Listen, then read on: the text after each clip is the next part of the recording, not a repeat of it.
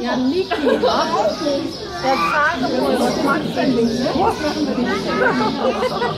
Der Tagebuch. ganz genüsslich wegschauen. Macht er?